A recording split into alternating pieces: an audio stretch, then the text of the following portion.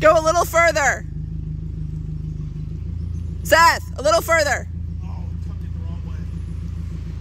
it Yeah, it works perfect. Just do a little further.